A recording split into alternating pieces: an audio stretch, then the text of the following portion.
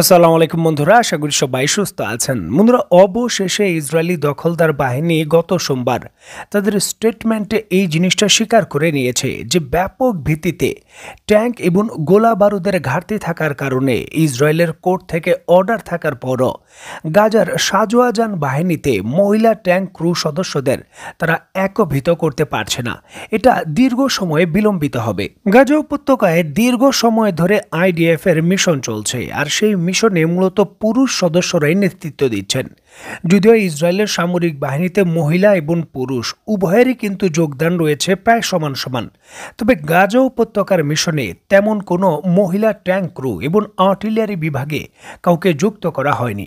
আর এর জন্য গত নয় মাস ধরে গাজা উপত্যকায় যেই পুরুষ সদস্যরা যুদ্ধ করছেন, তাদের কিন্তু বিশ্রামের কোনো জায়গা হয়নি। আর এই ইস্যুটিকে কেন্দ্র করে ইসরায়েলের কোর্টে মামলা হয়েছিল। ওই কোর্ট থেকে রায় দেওয়া হয়েছিল যে মহিলাদেরও গাজা উপত্যকার যুদ্ধে যাতে প্রেরণ করা হয়। তবে ইসরায়েল সর্বশেষ স্বীকার করে নিল যে মহিলাদের চালানোর উপযুক্ত যে স্বল্প মেয়াদের ট্যাঙ্ক রয়েছে, সেগুলো কিন্তু তাদের বহরে আর নেই এবং ট্যাঙ্কেরও তাদের ভারী ক্ষয়ক্ষতি হয়েছে, যার জন্য নতুন করে এই মহিলা ক্রুদের যুক্ত করার যে প্রেক্ষাপট, সেটা তাদের আর হবে না।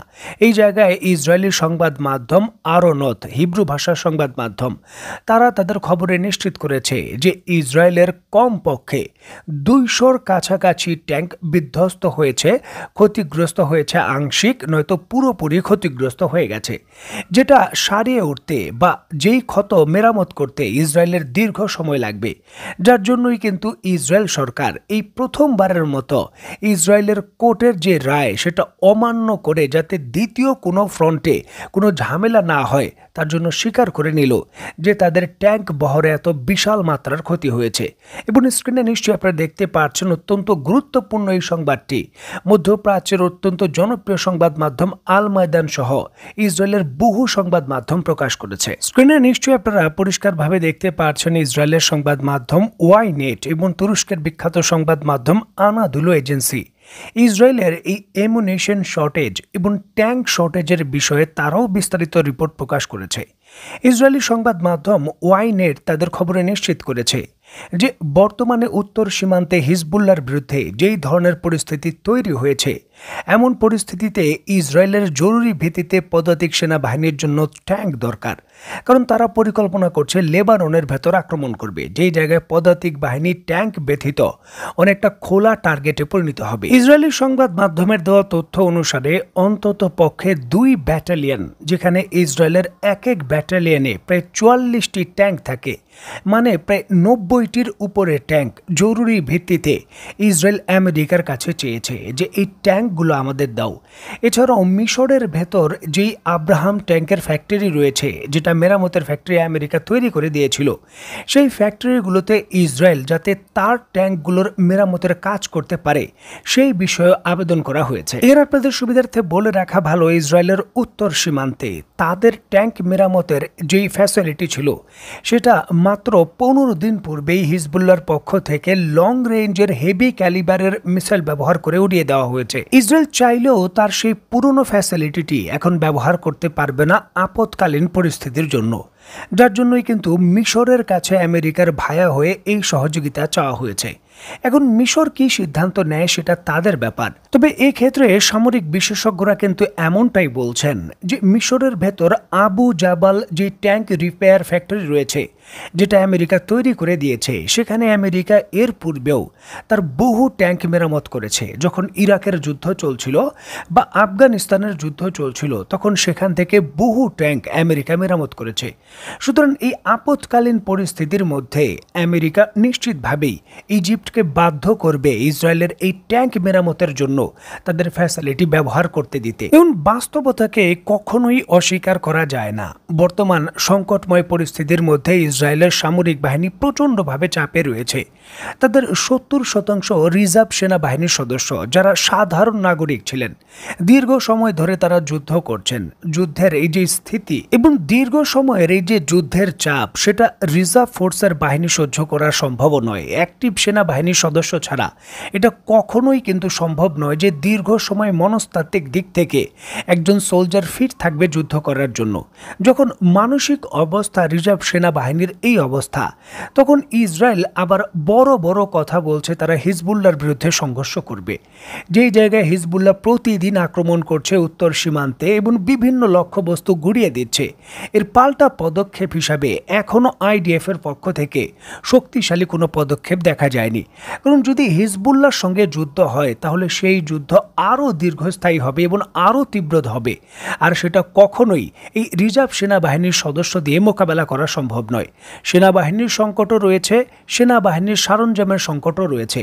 এর বাইরে এখন ইসরায়েল হুমকি ধামকি যা কিছু দিচ্ছে, সকল কিছুই ফাঁকা বলি। এবং দুই হাজার চব্বিশ সালের মোটামুটি মাঝামাঝির একটু বেশি সময় হয়েছে। বলা হচ্ছে যে আগামী দেড় বছর পর, অর্থাৎ দুই হাজার ছাব্বিশ সালের মধ্যেই ইসরায়েল বিলুপ্ত হয়ে যাবে।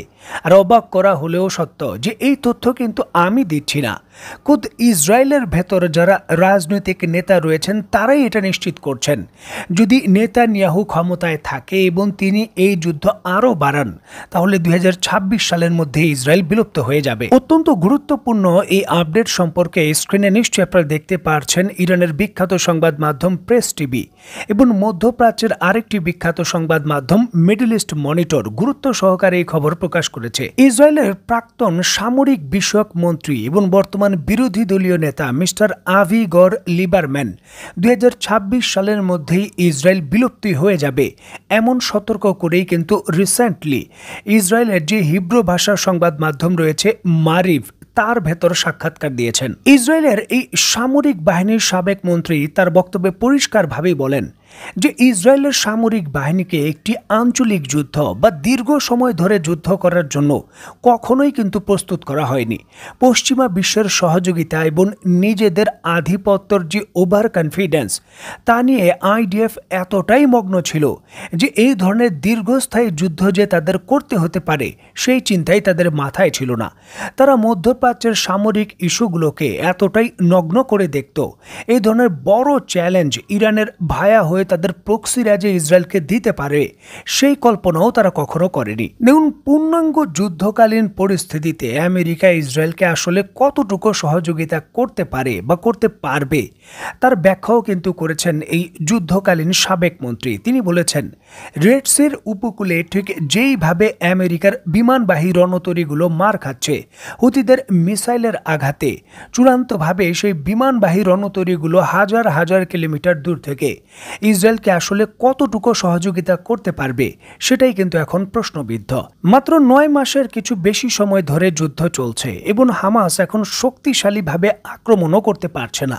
আর এমতো অবস্থায় ইসরায়েল ছেলে কানাডায় যাওয়ার জন্য অন্তত পাঁচ লক্ষ মানুষ আবেদন করেছেন। হিজবুল্লাহ এবং ইরান এবং তার মিত্রদের সঙ্গে যদি সর্বাত্মক যুদ্ধ হয়, তাহলে ইসরায়েল থেকে কম পক্ষে প্রায় তিরিশ থেকে পঁয়ত্রিশ লক্ষ মানুষ চলে যাবে আর যারা ইসরায়েল ছেড়ে পশ্চিমা বিশ্বের বিভিন্ন দেশে গিয়ে স্থায়ী বসতি করবেন। তারা কোনো সাধারণ মানুষ নন।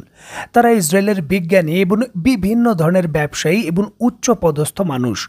তারা যদি চলে যান, ইসরায়েলের অর্থনীতি দীর্ঘ সময় ধরে ধুকে ধুকে মরবে সার্ভাইভ করতে পারবে না। সুতরাং যুদ্ধ থামানোর এটাই সময়, এমনটাই কিন্তু বলেছেন ইসরায়েলের সাবেক যুদ্ধমন্ত্রী, যে এখন যুদ্ধ দীর্ঘস্থায়ী করা ইসরায়েলের জন্যই আত্মঘাতী। তো বন্ধুরা, ইসরায়েলের এই যুদ্ধকালীন মন্ত্রীর যে ভবিষ্যৎবাণী এবং তার যে যুক্তি, এই বিষয়ে আপনি ঠিক কতটা একমত অবশ্যই কমেন্ট বক্সে লিখবেন। তো বন্ধুরা, আজকের মতো বিদায়। নতুন কোনো ভিডিও নিয়ে আবার দেখা হবে। সেই পর্যন্ত সবাই ভালো থাকবেন, সুস্থ থাকবেন এবং বাংলাদেশকে ভালোবাসবেন। আল্লাহ হাফেজ।